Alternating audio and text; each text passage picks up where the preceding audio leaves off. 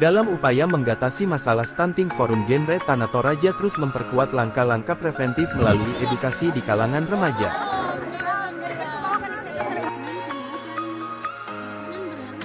Kali ini Forum Genre Tanah Toraja melalui aksi nyata ini genting memberikan edukasi dan sosialisasi ke ratusan remaja di tongkonan stok kompetisi yang berlangsung di Kecamatan Mengkendek.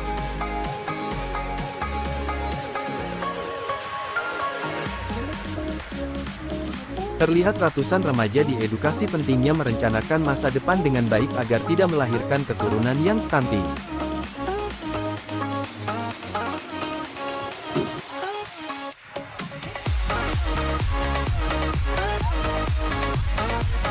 Dengan diberikan beberapa materi di antaranya, pentingnya minum tablet tambah darah, menjaga gizi makanan yang seimbang serta mengetahui asupan gizi dalam jajanan makanan.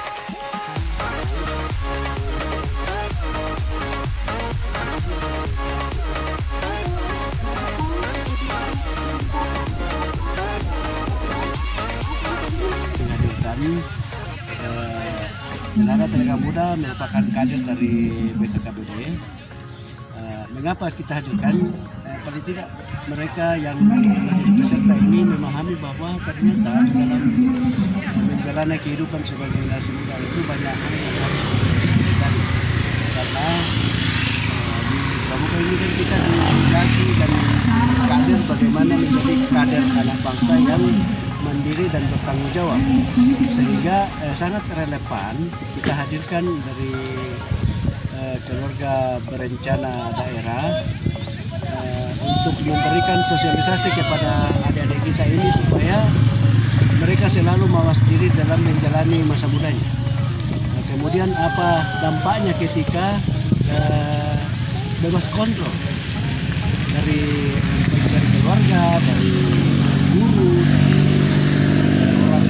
dari segenap senior seniornya kalau eh, mereka tidak dibekali dengan eh, dampak dari setiap pergaulan bebas itu eh, kita takutnya nanti generasi yang kita bina di sini itu menjadi generasi yang eh, tidak bisa diharapkan di masa depan.